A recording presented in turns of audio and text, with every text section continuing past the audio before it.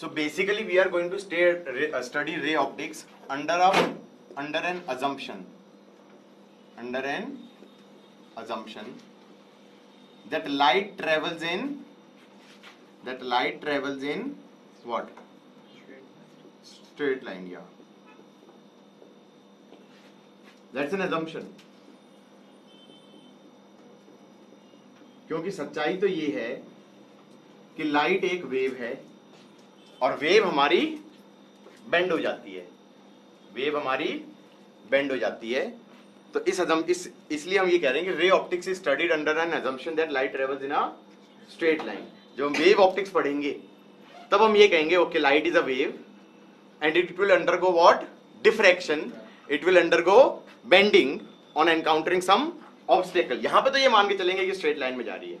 अच्छा मान लो कोई आँख है, कोई आई है आँख है। इसको कुछ दिखता है तो कैसे दिखता है? नहीं, इसके अंदर रेज जाती है। ऐसे रेज जाती है। डाइवर्ज करती हुई जाएँगी तो वो कहीं से आती हुई लगेंगी। वो कहीं से आती हुई लगेंगी। यहाँ पर कुछ होना ज़रूरी एक्चुअली नहीं है। पीछे से आ रही थी। समझ में आ रहा है, नहीं आ रहा है? पीछे से रेज आई। किसी पॉइंट पे कन्वर्ज करी फिर डाइवर्ज करके आँख में गई तो आँख में क्या करेगी? बैक ट्रैक करेगी। अच्छा यहाँ से आ रही है रेज तो ये चीज़ दिखाई देगी। यहाँ पर फ़िज़िकल प्रेजेंस होना किसी चीज़ की ज़रूरी नहीं है। तो बहुत बार क्वेश्चन भी आता है कि इंसान को ये दिखेगा या नहीं दिखेगा। तो यू शुड रियलाइज़ कि अगर आँख के अंदर रेज ऐसे जा रही हैं तो कुछ नहीं दिखेगा। क्योंकि उसे कहीं से आती हुई नहीं लग रही है। समझ में आ रहा है? और दूसरी चीज़ ये दिखाई भी देगा तो यहाँ पर किसी चीज़ का होना ज़रूरी नहीं है, क्योंकि वो रेज हो सकता है, पीछे से आई और फिर यहाँ पे इंटरसेक्ट करके फिर डाइवर्ज कर गई। यहाँ पे इंटरसेक्ट करके डाइवर्ज कर गई, यहाँ पर फ़िज़िकल चीज़ कुछ भी नहीं है। मतलब इससे अच्छा तो हमारे, हमसे अच्छा तो वही है, चमगादड़, कि यार उसको ये नहीं दिखेगा, क्योंकि वो तो कहेगा, मैं रेज फेंकूँगा कुछ। और वो बाउंस होके वापस आनी चाहिए। तो हम कहेंगे, यार मतलब उसको तो उसको तो कुछ बाउंस होके आएँगी नहीं, वो तो चली जाएँगी। तो चमगादड़ को ये चीज़ नहीं दिखाई देगी और हमें दिखाई देगी। यहाँ पर फ़िज़िकल चीज़ का प्रेजेंस होना ज़रूरी नहीं है। ये वो क्या सोच रही है बच्चे की ये क्या बकवास थी? समझ में आया? हाँ। और यहाँ पर कुछ दिखाई नहीं देगा आपको। यहाँ पर कुछ दिखाई नहीं देगा। क्योंकि रेज को बैक ट्रैक किया तो कहीं से इंटरसेक्ट हो नहीं हो रही है वो। So you will not see anything you will not see anything बचपन में पढ़े थे laws of laws of reflection पढ़े थे? लॉज ऑफ़ रिफ्लेक्शन पढ़े थे? हाँ क्या पढ़ा था?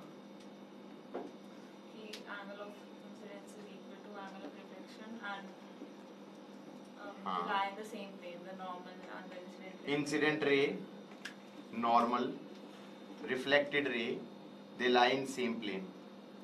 Do you realize the importance of second law? Second law की इंपॉर्टेंस कहाँ पर है? भाई, मान लो कोई भी मिरर है। मान लो कोई भी मिरर है। मिरर कैसा भी हो सकता है ना? मिरर तो कर्व भी हो सकता है। एक तरफ़ से सिल्वर तो करना था। हमने कहा, ये वाली जो रे आ रही है, ये इंसिडेंट रे हो गई इसके लिए। क्यों? होगी क्योंकि मिरर की तरफ़ आ रही है। हम कहेंगे कोई भी कर्व है तो उस पर दो चीज़ें बनाई जा सकती हैं tangent and normal tangent and normal हम कहेंगे इंसिडेंट रे और नॉर्मल के बीच का एंगल हो गया एंगल ऑफ़ इंसिडेंस अब तुम कहोगे रिफ्लेक्टेड रे और नॉर्मल के बीच का एंगल क्या होना चाहिए? सेम होना चाहिए. लेकिन अगर तुम्हारे पास सिर्फ़ पहला लॉ ही है तो क्या मैं ये कह सकता हूँ reflected ray can lie along this cone क्योंकि इस कोन के हर सरफेस के along angle would be same इसका मतलब तो रिफ्लेक्टेड रे ऐसे भी हो सकती थी, क्योंकि ये वाला एंगल मान लो 60 डिग्री है तो 60 डिग्री तो ऐसे भी बनेगा, ऐसे भी बनेगा, ऐसे भी बनेगा। तो इसका मतलब तो रिफ्लेक्टेड रे इनफाइनाइट हो सकती है, लेकिन ऐसा नहीं होता, एक ही होती है। इसका मतलब ये हुआ कि सेकंड लॉ के बिना तुम रिफ्लेक्टेड रे यूनिकली डिफाइन नहीं कर सकते। तुम ये कहोगे इंसिडेंट रे और नॉर्मल एक प्लेन डिफाइन कर रहे हैं तो हम ये कहेंगे कि ये इंसिडेंट रे हो गई, ये नॉर्मल हो गया, ये एक प्लेन हो गया। तो रिफ्लेक्टेड रे उसी प्लेन में होनी चाहिए। रिफ्लेक्टेड रे उसी प्लेन में होनी चाहिए। नहीं समझे? सपोज़ करो कि ये मिरर है। सपोज़ ये व्हाइट बोर्ड मिरर है। हमने कहा ये इंसिडेंट रे है। यहाँ पर इंसिडेंट रे है, ये नॉर्मल है। तो इसका मतलब रिफ्लेक्टेड रे इसी प्लेन में होनी चाहिए। बात समझ में आई या नहीं आई? ऐसे नहीं हो सकती। Any two two lines will define a plane अगर तुम वेक्टर फॉर्म में देखना चाहो तो what I am trying to say is कि हमारे पास दो वेक्टर हैं, एक इंसिडेंट रे का वेक्टर है, एक नॉर्मल का वेक्टर है। एंड दो वेक्टर हमेशा क्या डिफाइन करते हैं? प्लेन डिफाइन करते हैं। तो हम कहेंगे reflected ray would lie in the same plane as defined by the two vectors of incident ray and normal बात समझ में आई या नहीं आई? पक्का? तो आई थिंक सेकेंड लॉ के बिना तुम रिफ्लेक्टेड रे यूनिकली डिफाइन नहीं कर सकते। अच्छा ये हो गई रिफ्लेक्टेड रे। ये हो गई रिफ्लेक्टेड रे। लेकिन यहाँ पर एक और मिरर लगा दिया हमने। तो ये इसके लिए हो गई इंसिडेंट रे। यहाँ पे नॉर्मल बनाया। ये हो गया एंगल ऑफ़ इंसिडेंस ऐसे ही एंगल ऑफ़ रिफ्लेक्शन बनेगा। ये रिफ्लेक्टेड रे हो गई इस मिरर के लिए। फिर यहाँ पर एक और मिरर लगा दिया मैंने। यहाँ पे नॉर्मल हो गया, और फिर ये रे ऐसे चली गई। और एंड में मैंने क्या किया, किसी एक मिरर पे 90 डिग्री पे हिट करा दिया। तो हम कहेंगे एग्जैक्टली बैक ट्रैक कर जाएगी। एग्जैक्टली ये सॉल्व करे बिना ये वापस आ जाएगी। This is called is principle of reversibility of path principle of reversibility of path कि अगर तुम उसको 180 डिग्री से घुमा दोगे तो it will exactly retrace its path without solving without solving that's called as principle of reversibility of path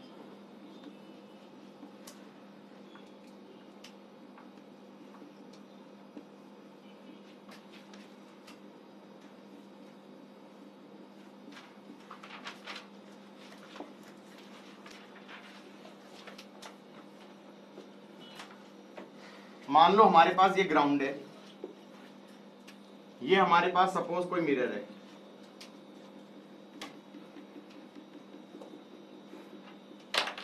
यहाँ पर हमने किसी बच्चे को बिठा दिया। ये इसकी आँख है। अब ये मत कहना, इसकी आँख नीचे क्यों चली गई? बस वो चली गई। ये इंसान है। सो हम ये कह सकते हैं सपोज़ इस बच्चे की हाइट है L question is minimum length of mirror required to see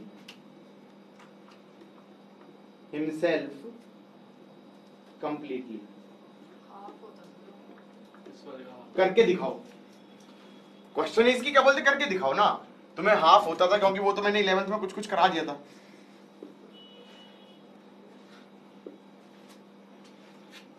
Question is minimum length of mirror required to see himself completely also find location of mirror. Also find location of mirror.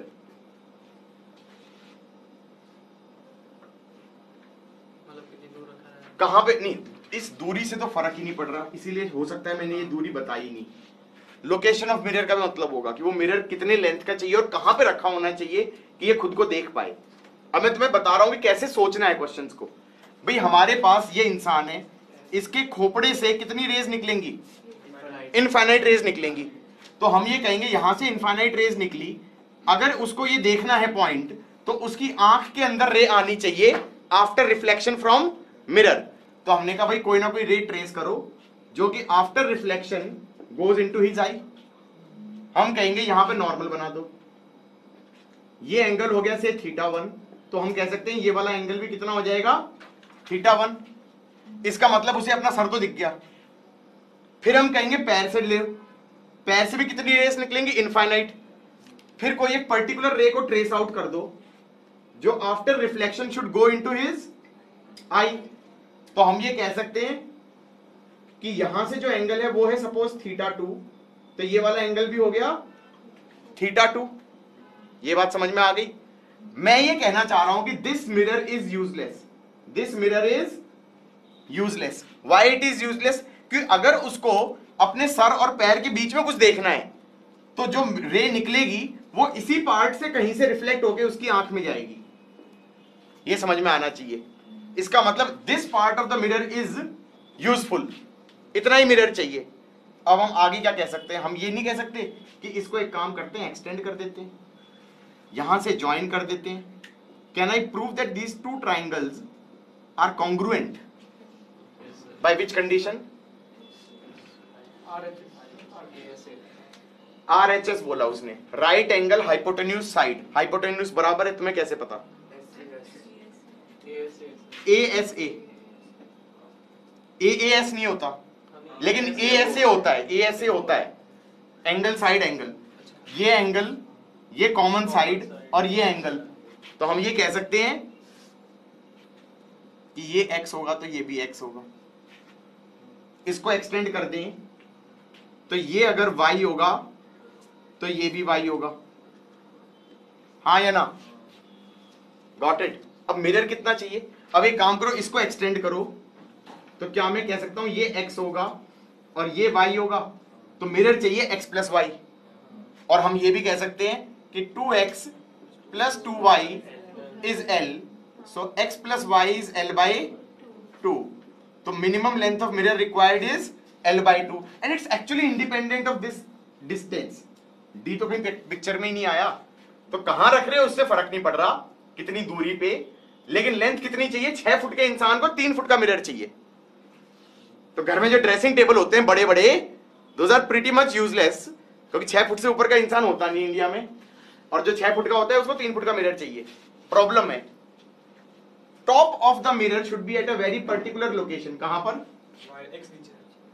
X नीचे। मतलब ये कहो ना, तुम्हारी आँख और top of head के mid point पे टॉप ऑफ़ मिरर आना चाहिए। जो हमारी आँख है और टॉप ऑफ़ हेड है उसके मिड पॉइंट पे एग्जैक्टली यहाँ पर मिरर का टॉप आना चाहिए। इसलिए मिरर बड़े रखते हैं हम क्योंकि ये अप, अपर वाला पॉइंट है ये हर इंसान का डिफरेंट हो जाएगा। हो जाएगा नहीं हो जाएगा। वो पाँच फुट के वाले के लिए कहीं और चला जाएगा छह फुट वाले के लिए कहीं और चला जाएगा तो इसलिए बड़ा मिरर रखते हैं। अदरवाइज़ तो टेक्निकली स्पीकिंग तुम्हें मिरर कितना चाहिए?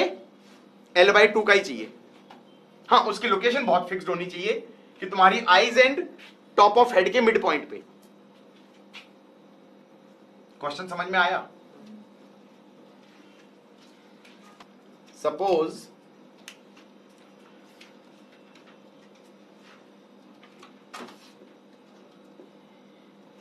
ये मिरर है।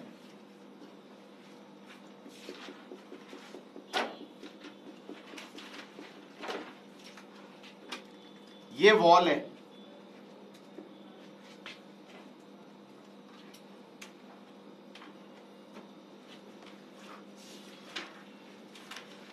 वॉल और मिरर के बीच में डिस्टेंस है डी वॉल और मिरर के बीच में डिस्टेंस है डी हम देख रहे हैं टॉप व्यू टॉप व्यू में यहाँ पर एक बच्चे को बिठा दिया हमने. इसकी आई इधर की तरफ़ है.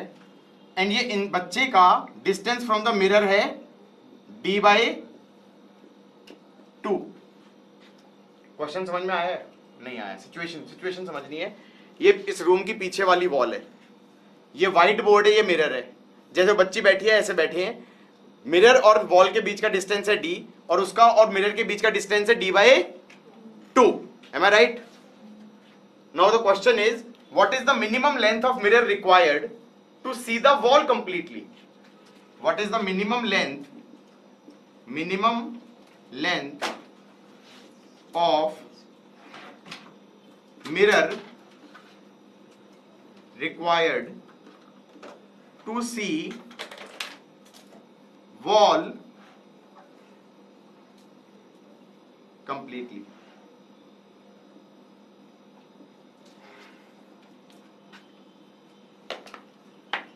इधर देखो बोर्ड सब बोर्ड की तरफ़ देखो ये एंड है इस एंड से रे गई और रिफ्लेक्ट होने के बाद आँख में जानी चाहिए ना। तो ये एंड दिख गया। अब मैं ये कहूँगा कि ये दो एंगल बराबर होंगे। ये वाला भी एंगल अगर थीटा वन होगा तो ये भी थीटा वन होगा। सही है? फिर मैंने कहा दूसरे एंड से रे भेजो। रिफ्लेक्ट करके इसकी आँख में चली जाए।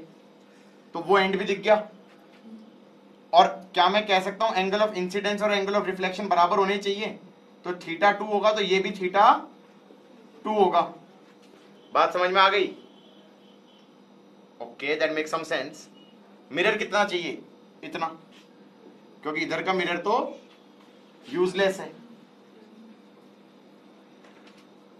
अब मैं ये कह सकता हूँ कि यहाँ पर परपेंडिकुलर गिरा दो।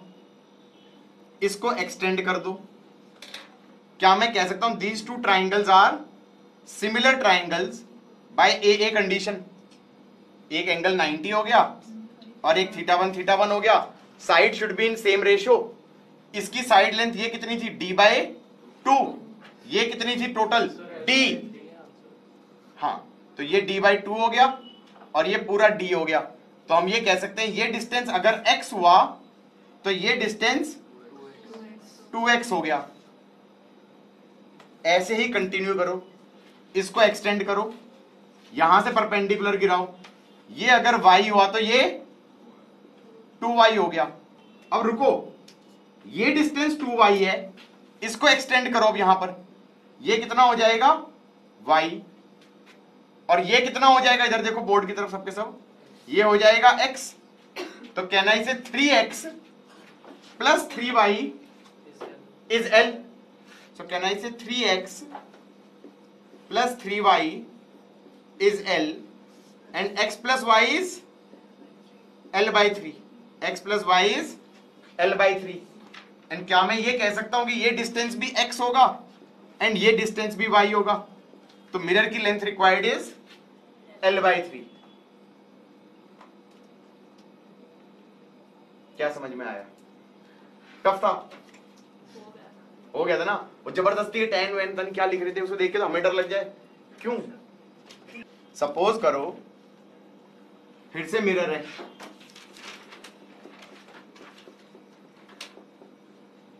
फिर से वॉल है। वॉल की लेंथ फिर से कितनी है? एल इस बार ये डिस्टेंस डी दिया है। Now there are two person एक पर्सन यहाँ बैठा है। ये बैठा है डी बाई थ्री पे। और दूसरा बैठा है यहाँ पर वो यहाँ से डी बाई थ्री पे। तो इसको कितनी लेंथ लगेगी और इसको कितनी लेंथ ऑफ़ मिरर रिक्वायर्ड होगी to see the wall completely हो गया। भाई, इस वन के लिए तो क्या करोगे? यहाँ से रह गई। रिफ्लेक्ट खा के इसमें चली जानी चाहिए। हाँ या ना? इसको भूल जाओ थोड़ी देर के लिए। तो कंफ्यूज करेगा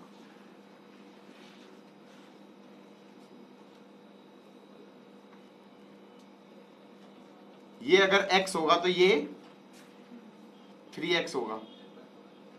हाँ क्योंकि ये d बाई थ्री है और ये d है। ऐसे ही अगर यहाँ से रिफ्लेक्शन खाया और ऐसे चली गई तो क्या मैं ये कह सकता हूँ कि ये अगर y होगा तो ये 3y होगा। सो हम ये कहेंगे 4x plus four y L, x plus y is L by four. Can make sense क्योंकि अगर एक्सटेंड करें तो ये डिस्टेंस x है, ये डिस्टेंस y है, ये डिस्टेंस भी x है, ये डिस्टेंस y है। तो मिरर कितना चाहिए? एल बाई फोर चाहिए एक्स प्लस वाई चाहिए। हाँ या ना? एक काम करो दूसरे वाला खुद करो। इसको एल बाई फोर चाहिए। इधर से इधर से एल बाई थ्री पे था। वॉल से वॉल से सॉरी डी बाई थ्री पे डी बाई थ्री पे। वॉल से डी बाई थ्री पे था। Facing the mirror obviously facing the mirror obviously हो गया ना? भाई ऐसे ऐसे मिरर था। बताऊँ या ना बताऊँ? ये वॉल थी। वॉल की लेंथ एल थी। देख लो इधर भाई, ये ये ये डी था। और ये इंसान बैठा था यहाँ से डी बाई थ्री पे। तो इसका मतलब मिरर से कितने पे बैठा है? टू डी बाई थ्री पे। यहाँ से रे गई रिफ्लेक्शन खा के आँख में चली जाए। ये वाला एंगल और ये वाला एंगल बराबर हो जाएँगे। तो इस वाले डिस्टेंस को अगर x बोल दूँ तो इसको क्या बोल दूँगा? x dash can I say x by x dash is two D by three upon D that is two by three two by three आ गया। डी तो कट गया। सो can I say x dash is three x by two हो गया। कि ये तो three x by two हो गया। ये x हो गया। ऐसे ही हमने रिफ्लेक्शन खाया यहाँ से, ऐसे चला गया। तो अगर ये y हो गया तो ये थ्री वाई बाई टू हो गया। अब ये कितना होगा y? और ये कितना होगा x? So can I say x plus three x by two that is five x by two plus five y by two is l. x y is 2l by 5 does that make some sense? हाँ या ना? तो एक चीज़ समझ में आ रही है कि जितना मैं मिरर के पास जा रहा हूँ, उतना छोटा मिरर चाहिए। फिर वो रे ऐसे जा रही थी। और पास चला गया तो वो रे ऐसे जाएगी। हाँ या ना? छोटे मिरर से काम चलता जा रहा है। हाँ या ना? The closer you go to the mirror, the more, the smaller the mirror is required. या ये कह सकते हो in terms of your NCERT जितना तुम मिरर के पास जा रहे हो, उतना तुम्हारा फ़ील्ड ऑफ़ विजन बढ़ रहा है। कहीं पढ़ाओ तो। ये फ़ील्ड ऑफ़ विजन का लॉजिक क्या हुआ? ऐसे सोचो ऐसे सोचो कि इस बार पीछे वॉल नहीं है, पीछे वॉल नहीं है। यहाँ पर एक इंसान बैठा है उसको कितने दूर तक का चीज़ें दिखाई दे रही है? मिरर का लेंथ फिक्स्ड है। मिरर की लेंथ फिक्स्ड है। तो उसको कहाँ तक की चीज़ें दिख रही हैं? हम ये कहेंगे कॉर्नर ऑफ़ मिरर से जो रे इसकी आँख में गई। ये वाला एंगल हो गया से थीटा वन तो क्या मैं कह सकता हूँ थीटा वन से आने वाली रेज सारी उसने कैच कर ली होंगी। इस कॉर्नर से उसकी आँख में रे गई। और ये एंगल हो गया सपोज़ से थीटा टू सो क्या मैं कह सकता हूँ कि थीटा टू पे आने वाली सारी रेज उसने कैच कर ली होंगी। तो उसे यहाँ से इतने रीजन की चीज़ें दिख रही हैं। एम आई राइट हाँ या ना?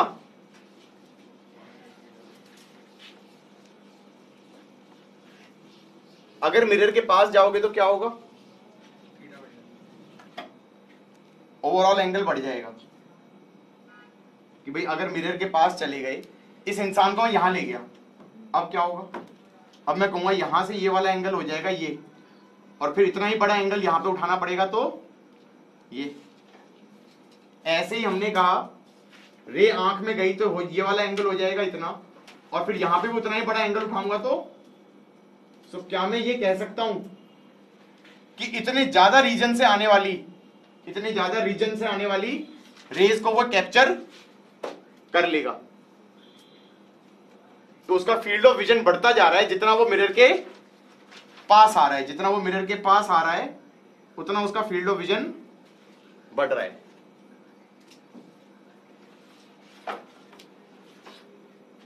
गॉट इट तो इसके ऊपर चाहो तो होमवर्क क्वेश्चन दिया जा सकता है। दे क्या या नहीं? करके आओगे तो देंगे मतलब। ये इंसान है। ये इंसान है। ये इसकी एक आँख है, ये उसकी दो आँख है, ये कान भी है। सामने मिरर है। और सपोज़ आँखों के बीच का डिस्टेंस है एल नॉट और कानों से कान का डिस्टेंस है से L one what is the minimum length of mirror required to see his whole face completely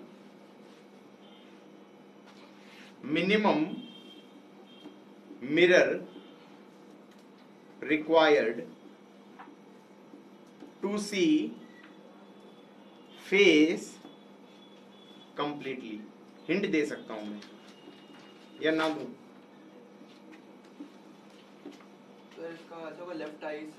तो एग्जैक्टली कि इस लेफ़्ट वाले कान को देखे ये वाली आँख। तो तुम ऐसे कहोगे कि यहाँ से रे जाए और ये इसकी आँख में चली जाए फ़ील्ड ऑफ़ बड़ा होगा और फिर ये वाले ये वाले कान को देखे, ये वाली आँख। ऐसे रे आए और इस आँख में जाए तो दोनों आँखों में से कोई एक आँख पूरा फेस देख लेगी। तो तुम्हें ये मिनिमम लेंथ ऑफ़ मिरर चाहिए। पूरी ज्योमेट्री लगा देना। To see the face completely ये मत कर देना कि इस कान को इस वाली आँख से दिखवा रहे हो। क्योंकि फिर जो रिफ्लेक्ट होगी वो यहाँ से होगी सबसे बड़ा, वो मैक्सिमम लेंथ चाहिए होगी कि क्या बोलते हैं, इस वाले कान को अगर ये वाली आँख देख रही है तो वो यहाँ से आएगी। तो जो ये वाली लेंथ है that is the almost like the कि ओके